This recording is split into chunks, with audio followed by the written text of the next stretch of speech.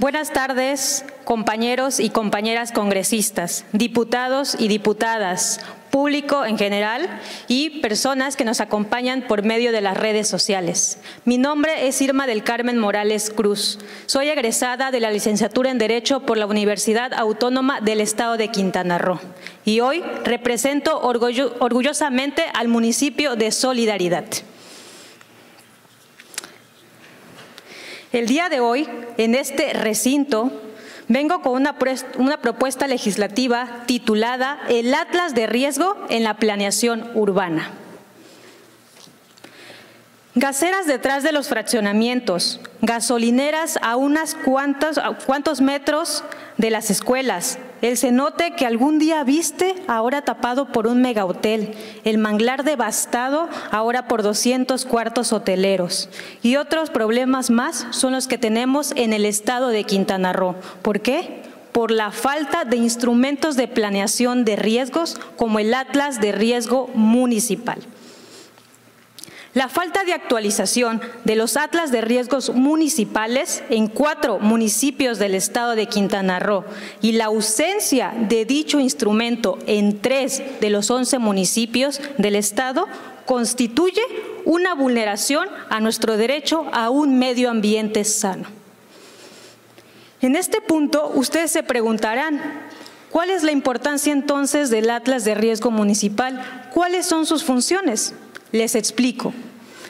El Atlas de Riesgo es un sistema actualizado de información geográfica, el cual tiene diversas funciones importantes, principalmente el Atlas de Riesgo Municipal.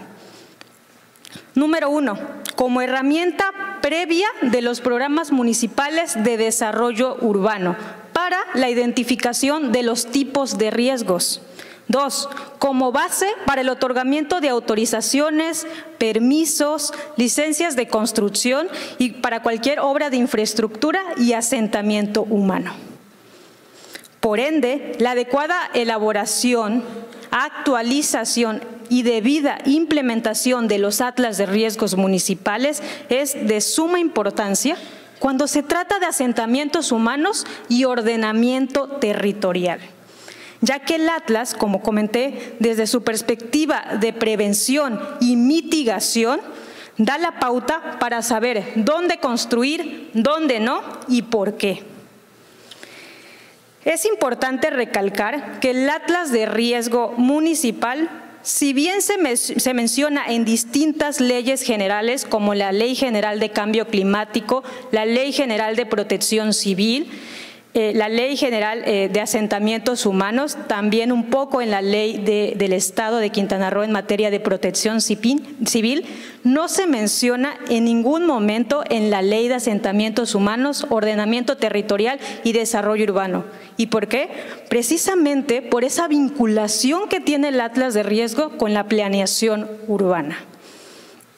Es por ello que hoy propongo adiciones a la Ley de Asentamientos Humanos, Ordenamiento Territorial y Desarrollo Urbano del Estado de Quintana Roo, para que se adicione en su artículo 7 la definición completa del Atlas de Riesgo Municipal. Asimismo, se adiciona en su artículo 13 la obligatoriedad para que los municipios elaboren y actualicen cada tres años el Atlas de Riesgo Municipal, así como que dicho Atlas sea una herramienta previa, e insisto, previa para la elaboración de los programas municipales de desarrollo urbano, porque repito, los riesgos están estrechamente vinculados con la planeación urbana. Recordemos, la prevención de riesgos en la planeación urbana nos beneficia y nos debe importar a todos y todas ya que así garantizamos la seguridad urbana y sobre todo nuestro derecho a un medio ambiente sano. Es cuanto.